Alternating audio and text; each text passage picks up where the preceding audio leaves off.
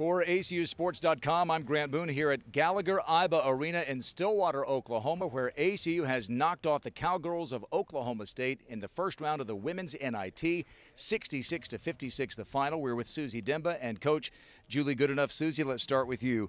This was a game that your team fell behind 13 to 3. What was going on in the locker room and the feeling in those early moments? You're down 10.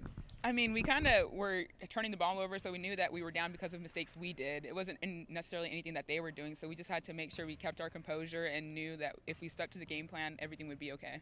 Coach, a team with without four seniors who've seen a little bit of everything may not respond to that early deficit like these girls did. You think maybe?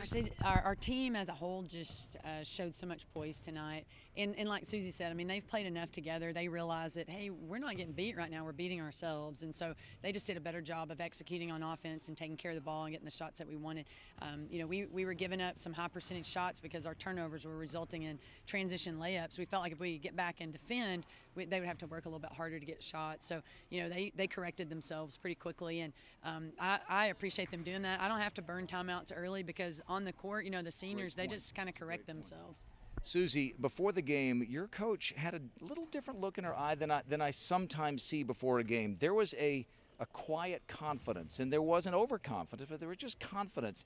Did you sense that as well, and did you feel it? Oh, I felt it. I knew we were not going to lose this game. Like, why? I, just because I just had a feeling like I wasn't. This is like I was not even fearful. Me and Lizzie just kept talking about it. Like we knew we were going to win. Like no spring break, we're winning. Like there was not a doubt in my mind.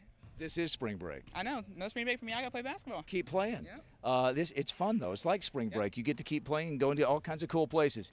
Uh, Julie, this was a game in which your team won each quarter by at least a point. And while you never stretched the lead further than 13, they never got it closer than eight in the fourth quarter. What does that say? I just credit our players for keeping their poise. Um, it's the best our zone defense has been all year. Our players did a great job with that. We knew that we would be in trouble the more they were able to feed their bigs inside, and we thought we could prevent that a little bit by being in a zone. And what it did is it made them work the clock, the ball so long. You know, it kind of shortened the game for us because they had to work so hard to get the ball into their big player. Helped us when uh, 54 got into foul trouble.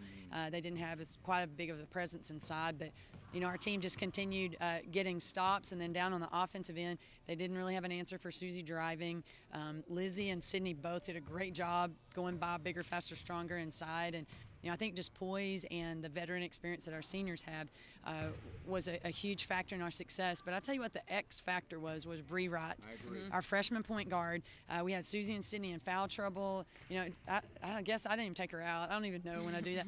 I mean, she played 40 minutes and she hit tough shots. She didn't get rattled when she made a mistake. One and turnover she it, she was the X factor. She, mm-hmm. I mean, I can count on my seniors to kind of do what they do. But uh, Bree's a freshman playing in you know the biggest game of her career tonight, and she was really the X factor for us. She was phenomenal. Incredible, though. You think about all the games she's played this year against Missouri and Texas A&M and Baylor. Uh, Suzzy, last thing here.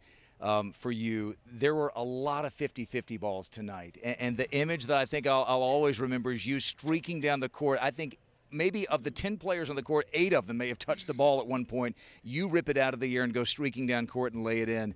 There was an intensity tonight, wasn't there? There definitely was. We were just, we knew that we had to win this game. Like, this game means a lot. Like, the seniors didn't want this to be the last game that we ever play, and we knew what we had to do to get it done. So, if it means getting the ball while everyone else touches it, that's what I have to do.